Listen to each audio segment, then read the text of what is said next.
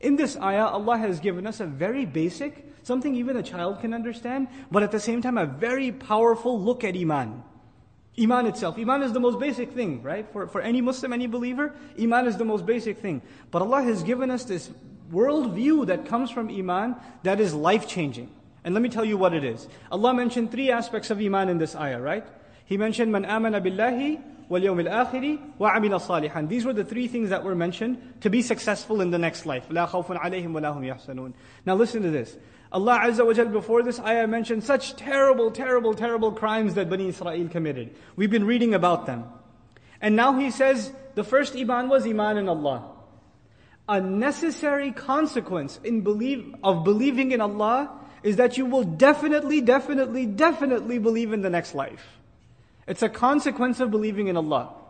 If you don't believe in Allah, then it's very difficult for you to accept that there is a life after this one. But if you believe in Allah, a logical consequence of that is the afterlife. How so? If you believe in Allah, don't you and I believe everything He does is perfect? Flawless, right? If there is a God, you're talking to a, an agnostic or a philosopher, you know, philosopher and atheist. If there is a God, if there was one, he'd be perfect in every way. Yes, agreed. So if he does anything less than perfect, he can't be God anymore. Has to be, everything he does has to be perfect. Now, he created this world, yes or no? He did. Now look around this world, you see justice or injustice? You don't see justice. You see injustice. You see innocent people being killed. You see children dying of disease. You see murderers getting away with killing a thousand people. When, a, when a, one man kills ten people, what's the most you can do to him? What's the most, what's the just punishment you can give him? You could kill him, okay, how many times? Once. If you killed one person, you can kill him once. If you killed a thousand people, you can still only kill him once. So you can, you can come to a very easy conclusion that there is no justice. In the end, no perfect justice in this world. You can try to get justice, but there's no perfect justice in this world.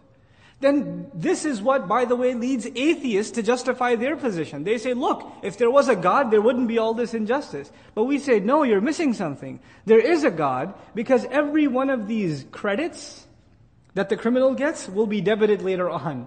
And every one of these debits will be credited later on. No crime went unnoticed. Nothing is off record. Everything is being kept track of. And anything that you suffered here that you didn't get compensated for, you will get paid for it. What is that thing called? It's called the last day. In other words, if you don't believe in a last day, then you can no longer accept Allah as just. Allah, Allah's justice necessitates that you believe in the last day. You understand? So the two are logically connected. Now, if you do believe in a last day, wouldn't you want to be successful on that last day? And you, you've accepted that on that last day you will be judged by Allah. So wouldn't you want to act righteously? Right? So first came the belief in Allah. A logical consequence of that is believing in the last day. And if you've come to the realization that there is a last day, then what are you going to fix? Your deeds. Such a powerful reality captured in just three phrases. Man amana billahi wal yawmil akhiri wa amila salihan.